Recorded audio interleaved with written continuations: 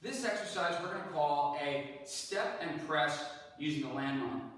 This is going to work on our shoulder and our pushing power while respecting the way our body is meant to move, making it much easier on the nervous system and each joint itself.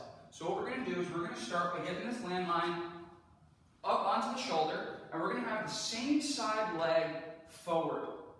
Now that we have that same side leg forward, we're going to try to connect opposites. So we're going to try to connect the right shoulder to the left hip, and we're going to try to connect the left shoulder to that right glute. So as we come and step forward, we're going to step forward with a little bit of force and use the timing to have our body propel this landmine forward. So we're going to rotate over that bar a little bit using our rotational power, trying to rotate from the upper portion of our trunk.